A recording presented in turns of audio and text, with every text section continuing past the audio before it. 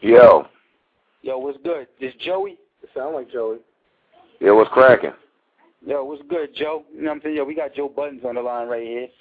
And everything, you know what I mean? We've been waiting for a minute and everything, you know what I mean? It's Joey B representing Jersey. How y'all Joe. feeling? Yo, what's good out there, Joe, man? You know, Slaughterhouse is tearing up the streets right now. Yeah, we trying, man. We trying hard. What what what made you form what made you form a group with you know what I'm saying, Joell Ortiz, um, Royce the Five Nine and um Crooked I? What, how did that whole thing come about? Hip hop. Um, hip hip hop made me do it. Like um, Hip-hop. around the time around the time last year, August, I, I put out a, a series called uh, "Who Killed Hip Hop," Mhm. and um, I remember somebody saying to me, you know, rather than rather than you uh, rehashing on events that you think might have hurt uh, hurt the industry, uh, what are you doing to fix it? So that kind of that kind of stuck with me. I just felt like felt like lyrics were lacking at the time. Uh, I felt like lyricists were lacking at the time. Uh, camaraderie, unity, uh, just all of the things that uh, were so relevant and, and, and alive in the 90s or, or even earlier in this decade. So uh, we got together uh, four four extremely talented, um, very capable MCs. Um, and the chemistry was there, and, and everything was just right, man. It was God's work. Yeah, that's what's up.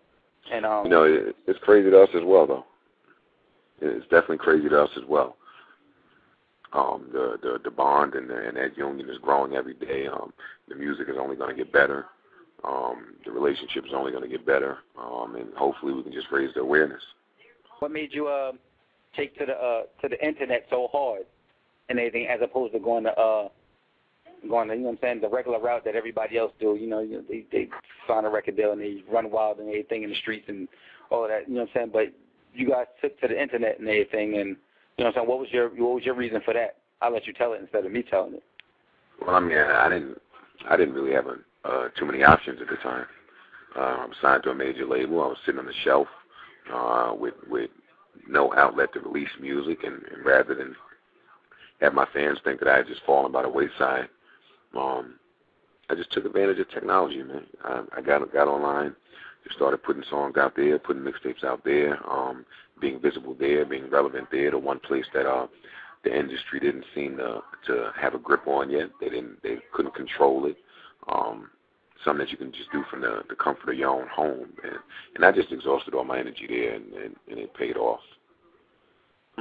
Speaking of the internet, um, in recent years, you know, you, use the internet to uh, to voice your opinions about about um, the, the stigma of hip hop and what the, like where the culture is going. And uh, I just want to know, like, like what like what made you come so political about um, about hip hop and the culture and everything. Well, I mean, I'm, I I was a kid. I was a kid just like uh, many other aspiring artists that wanted to get in the game and and you know had big dreams and and fell for a lot of misconceptions. And, and once I got there, um, once I signed my deal, I just noticed that uh, things were very different than what I thought. But for for political reasons, uh, me or anybody else who felt the same way that I did, you know, we weren't able to voice it, or or you'll be shunned or or blackballed or ridiculed or you know, you you basically be an outcast. Um, so once I began to feel like an outcast, which was uh, when I was on the shelf and, and just left for dead. Um, once I started taking advantage uh, of the internet and just uh, established that direct link between me and and my fans, I I could have cared less about politics or or or being quiet or or or not having an opinion. So it's one of the it's one of the it's one of the things that comes along with with freedom, with with freedom from uh, the political handcuffs. And and so it made sense that somebody and anything of you know what I'm saying of your lyrical caliber to speak up on a, such a situation and anything such as that crazy bracket that landed in Vibe magazine. You know what I mean? Yeah, I mean you you got people that that get in these positions where they're able to write something or post something or blog about something and that ultimately become popular opinion or they're able to sway fans and listeners. I'm a firm believer that, you know, hip hop is just a genre full of of dick riders, pardon my French. So I mean I, I just think it's important that when, when those type of things come up that that somebody in the know, even if not myself, anybody in the know, uh, speak up on it and just say, no, that this is this is inaccurate. Your girl Tahiry, y'all kind of ran wild with the internet thing, man. Even to the point where Tahiry got her own uh her own uh website now, right? Yeah, yeah, Um, Where where's uh where's that whole thing going? Uh, where where wherever God intends for it to go, man. I don't I don't know. I have a I have a pretty entertaining household. Uh pretty pretty entertaining dialogue between me and my my significant other. Um Yeah. as a, as a result she she went out and she she got her own fans. Uh she got me more fans. I mean she she's a popular girl with an amazing shape and a and a very powerful personality, very strong personality, uh, such as myself. So made Yeah. sense.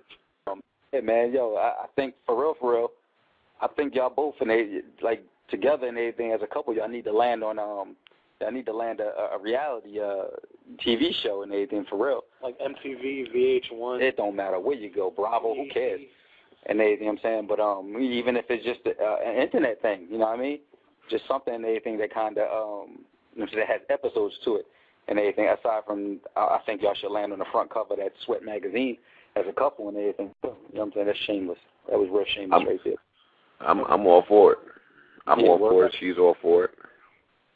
Yeah, word up and everything. Uh, I I think y'all, I think y'all, for, for real, for real, y'all the y'all the realest looking couple out there. Sure. I'm gonna be real because in the hood, in the hood and everything, you know what I mean? Yo, chicks is trying to look like Tahiry, you know what I mean? And in the hood, you know what I'm saying? Dudes look like Joe. You feel me? Mm, yeah. And so, so, so I think that's where it really need to be at and everything for real. Yeah, you just called them like the first couple of hip hop. Yeah, y'all the first couple of hip hop in my book. You know what I mean? Oh, good, good. I'm I'm I'm gonna let her know that. I, I appreciate that. Yeah. I mean, I I, I don't know how how how the the masses will whether they'll agree with it or not, but I'll definitely take that title. So I'm, I'm pushing your envelope for you. Thank you. Yeah, yeah, definitely. Big up the SWeT, everybody over there, everybody listening, tuning in, and holler back at me anytime, man. No doubt. You know what I'm saying? One, love, one, one love, Joe. Definitely. Thank y'all. All right.